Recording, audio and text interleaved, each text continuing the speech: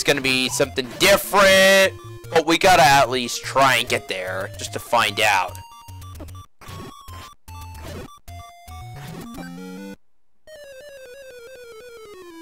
What the fuck? Did you guys see that? I grabbed that recovery heart and then I died.